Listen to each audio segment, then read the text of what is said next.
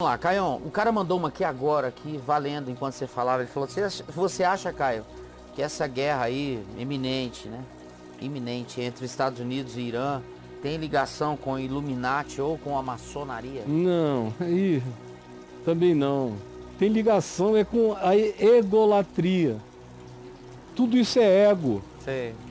Os Trumpinates. É, são, tem a ver com Trumpinates, com Trumpinites. Com Trumpinites. E com Trumpinoides. Isso. É com isso Os que tem a ver. Trumps. É, tem a ver com os iradoianos. com Ayatolados que não comem que não ninguém. comem ninguém. que não comem nem Neida. Meu Deus do céu. Que não comem Vai Neida. cair uma bomba Então é tudo, hoje. é tudo idiotice, entendeu? É. Idiotice.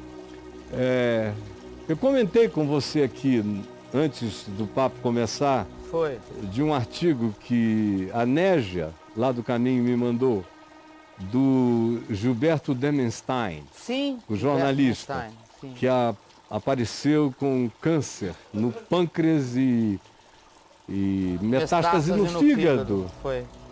Aí, meu Deus, depois que ele descobriu que estava com aquilo, e o prognóstico, humanamente falando, é breve. Isso é um texto dele, na Folha de São Paulo de domingo.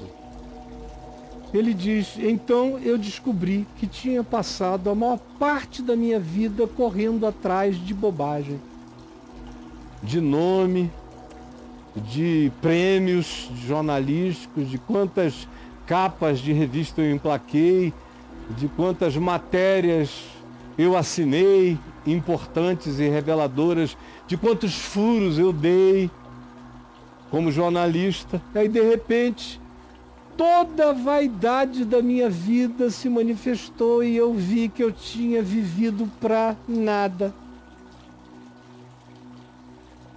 que o que valia a pena era aquela pedalada com aquele vento na face, no rosto.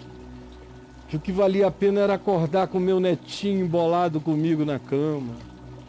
E que o que valia a pena era prestar atenção no som dos bentivis e dos pássaros todos os dias, todas as manhãs, como eu estou fazendo agora.